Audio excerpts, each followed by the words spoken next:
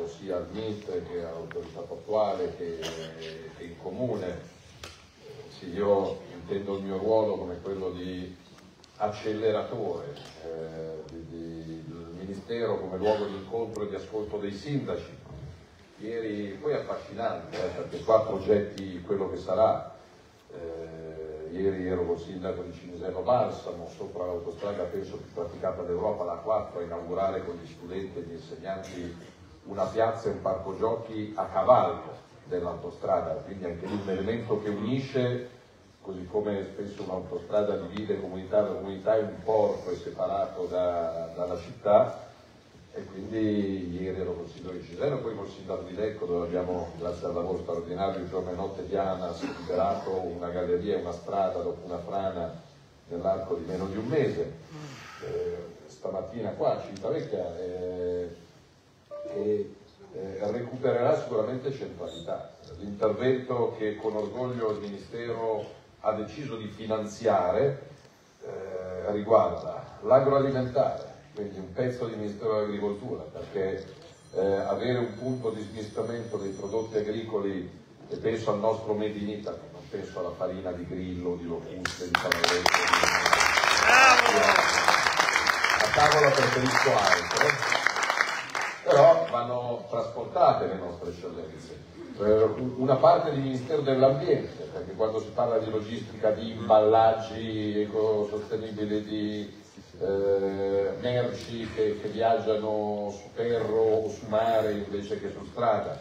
eh, una parte di eh, nostro infrastrutture, perché qua c'è la ferrovia, c'è l'aeroporto non, non lontano,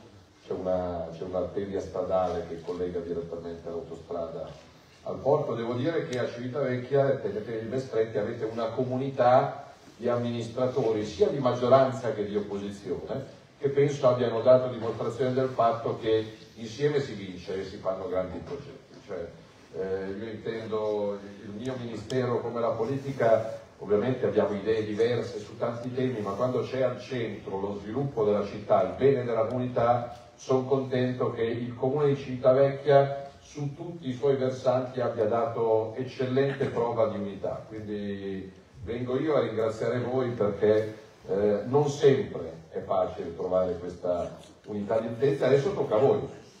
Adesso conto di tornare sì con il nuovo codice degli appalti che il Parlamento dovrà approvare entro la fine di marzo con tempi più celeri. Ieri ho fatto un incontro con il Presidente dell'ANA, che è dell'autorità anticorruzione, è chiaro che gli appalti devono continuare a garantire trasparenza, i malavitosi devono stare lontani, però io continuo a essere convinto e penso che gli amministratori locali, come l'ho fatto io, lo siano altrettanto, che più l'appalto è veloce, meno burocrazia hai, meno uffici devi girare, più è difficile per il corrotto trovare il corruttore. Cioè se l'appalto dura poco, i lavori li fai se invece di girare un ufficio devi girare 22 uffici, eh, è chiaro che, che, è, più, eh, è sempre sbagliato, quindi però eh, ha più possibilità quello di malaffare se l'appalto dura, dura una vita, quindi avere un codice degli appalti nuovi, avere un codice della strada, qua si parla anche di strade più moderne, smart road, 5G, telecamere, videosorveglianza, però poi occorre anche la testa quindi noi a gennaio faremo un altro secondo tavolo con il ministro della scuola per l'educazione stradale vera e non finta un'ora all'anno e il ministro degli interni perché oltre che all'educazione e alla prevenzione deve essere prevista anche la sanzione perché è inaccettabile il numero di morti e feriti sulle strade italiane dovute a droga, dovute ad alcol, dovute a distrazione e quindi conto che anche su questo si dia un segnale di cambiamento. Oggi così come ieri riducendo il prezzo della benzina e del gasolio sta scendendo perché se avanti la gente a controllare lentamente furbetti e speculatori hanno una vita più difficile, quindi miracoli non siamo in grado di farli, però questi 35 milioni, ha ragione il Presidente dell'autorità locale, penso che possano essere un grande volano, eh, che porti qualche altro fondo, qualche altro investitore esterno a dire a Civitavecchia si può se lo dicono lo fanno, quindi conto che questi denari pubblici siano solo l'inizio di un investimento di denari privati che possano portare Civitavecchia a godere come comunità, come studenti, come pensionati, come insegnanti, come commercianti, dei numeri eccezionali, perché sai, io cittadino residente a Civitavecchia con i miei problemi e le mie tasse, sì, è bello sapere che sono la seconda portualità turistica eh, d'Europa, però se, se non ricade sul mio territorio io penso che reinventare, recuperare eh, queste aree dismesse da tempo siano una grande opportunità per Civitavecchia, vedere tanta gente un mercoledì mattina vuol dire che siamo sulla strada giusta, quindi inverto l'ordine dei fattori, non dovete essere voi a ringraziare un ministro che fa semplicemente il suo lavoro, sono io che ringrazio la comunità di Civitavecchia perché ha portato al Ministero un progetto che stra meritava di essere finanziato. Quindi siete stati voi a essere bravi, coerenti, costanti e mi auguro che il modello Civitavecchia possa essere esportato anche in altre situazioni. È vero che quando ho fatto la riunione con i presidenti delle autorità portuali sono stato soddisfatto da un certo punto di vista e mi sono stato incazzato da un altro punto di vista perché non puoi avere quasi un miliardo di euro di opere pubbliche progettate, finanziate, ferme perché manca il documento, perché manca l'autorizzazione, perché manca la via. La cosa che mi aveva colpito, io vedo qua tanto verde, tanta sostenibilità, tanta innovazione, tanto green,